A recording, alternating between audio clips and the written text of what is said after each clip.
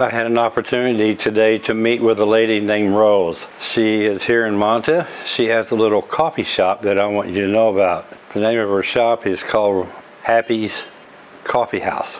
It's on Flavio Reyes. You can see here on the map where, where it's located.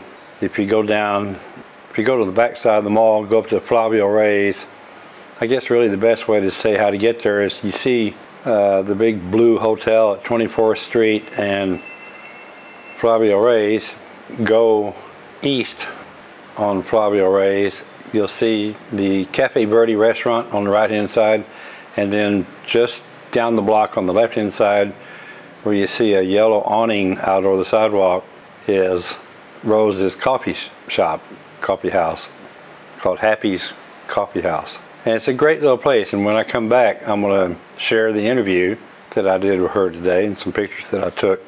Hey! Roger. Oh, Rocket Chick. Roger. Hello there.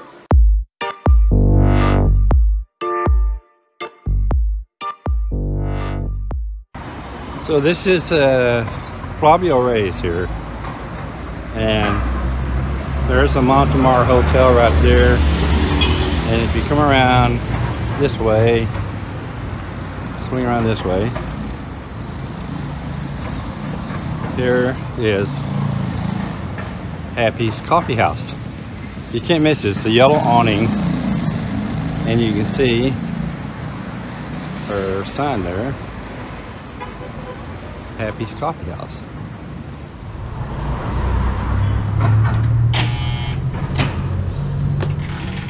Good morning. Hey Don, How's it going?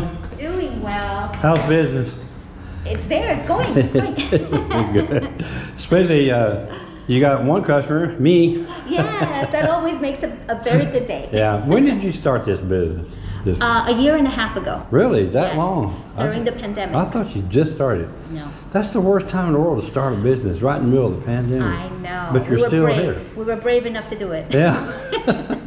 Where are you from? I was born in Brooklyn, Yeah. New York. Yeah, Brooklyn, New York. Yeah, Yeah. so part of my schooling was there. I came here to Ecuador when I was 10. Okay. I studied a couple of years here Yeah. uh, for a total of six years, and I went back to the States. Okay. So then, when did you come back here? Did w- did you come back here during the pandemic? Uh, right before the pandemic. Right before the It's pandemic. It's been three years since I came back. Okay. Yeah. All right. So, what gave you the idea of starting this thing? I love coffee. I honestly, I think I, I was the reason why a lot of coffee shops kept open.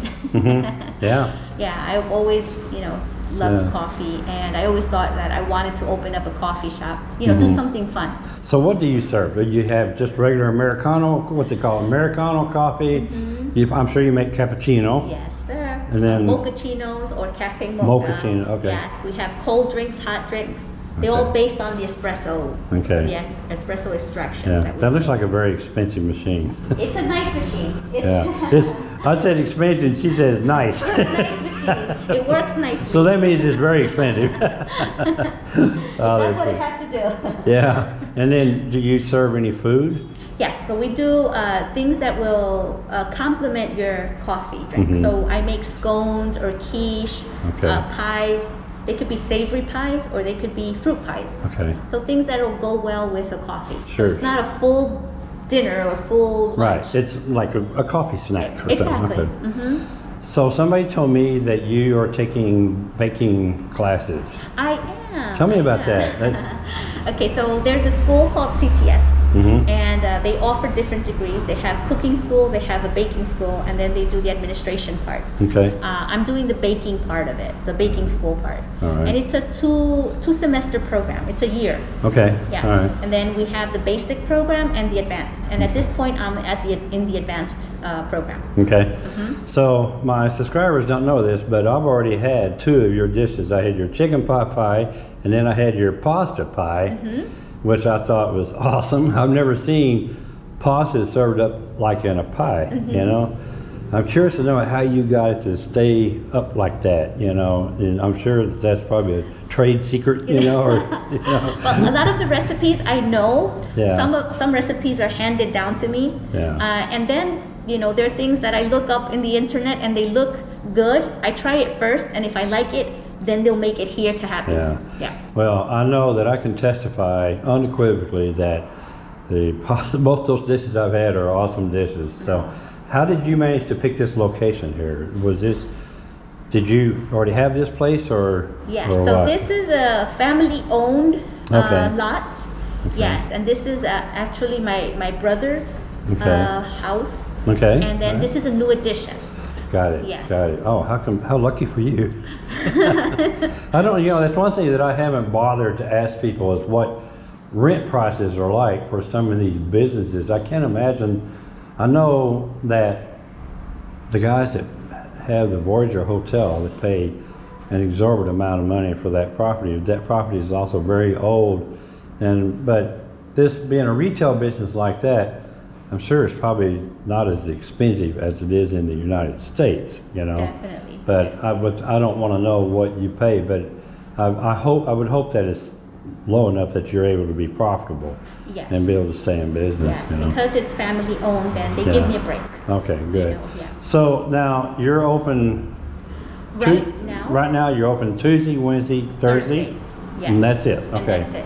And on Tuesday mornings, there's a special group of people that come in here. Yes. Tell us about that. Okay, so we have a ladies group that comes here. They meet every Tuesday at 10:30. Okay. Yeah, so they made it this like their common meeting place. Yeah. Yeah, so we have them on Tuesdays, and Yeah. then yeah, we have the clients coming in, walking in uh, throughout the day. Sure. Mm-hmm. Now these these are expats. These are expats. Okay. They're uh, American or Canadian or Okay. different parts. Okay. Yeah. All right. Fantastic. So, and I do know that uh, one of my friends actually introduced me to you, Mike, Mm-hmm. and we're going to try to help you by eliminating some of the echo that's in this place because I know that when these ladies get in here and everybody's talking, it's pretty hard to hear in here. Yes. And that's just because there's so much tile and concrete and And glass. in glass, yeah. And so we're going to try to help you with that, you know. And I, I can, speaking to my subscribers now, I can say I have a solution for doing that. And, and what I plan to do is put, you know, styrofoam on the walls and figure out a way to paint it and decorate it, make it look nice, and hopefully that will absorb some of the sound. But if any of my subscribers have a better idea, I want to hear it, you know. And I'm encouraging them to put it down in the description below. So anyway, so I'm going to show this place on Google Map. I'll draw, I'll pull up a map, and I'll show, I'll circle and show exactly where it's at. Because we don't have addresses here. If if I have to tell somebody where Happy's Coffee House is, what do I tell them? Where is it? Well, it's located on Avenida Flavio Reyes. So Okay. that's like the main street. Yes. Avenida Flavio Reyes, and then Street 21. Street 21. Yeah, okay. so 21st Street. Okay, mm-hmm. and you can't miss the yellow awning. You yes, that's Yeah. that's one of the things that I did outside, so it can so you can see it a Yeah. little bit, so yeah. it becomes Your shirt is yellow. Is this? I love yellow. As the inside, as you can see. Good. And I wanted to tell you, if you Yes. needed extra hands Okay. for the work that you're gonna help me do, Yeah. Your husband? Husband Good. Here. Did you know that? Did you? You've just been volunteer.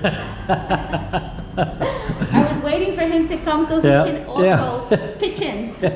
what a great couple! What a great couple here. So, and your name is Marcio. Marcio, yeah, yeah. And I just it's for for my viewers, I just met him this morning, and we have something in common because we're both from Oklahoma.